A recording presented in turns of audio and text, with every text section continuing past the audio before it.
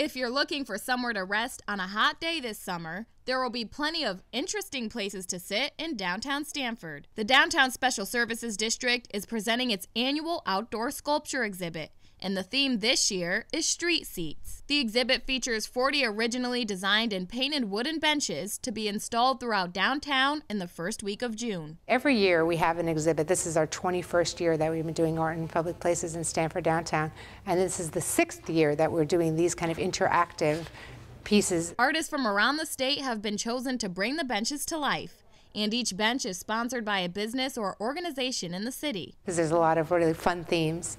We've got some islands and some birds and people and all different different themes, so it's going to be really exciting. It's called People of Stamford and it's based off of actual people I've seen and sketched around Stamford. My bench is um, called Birds of a Feather, and I just love drawing birds. I've been doing designs, like I said, for many years.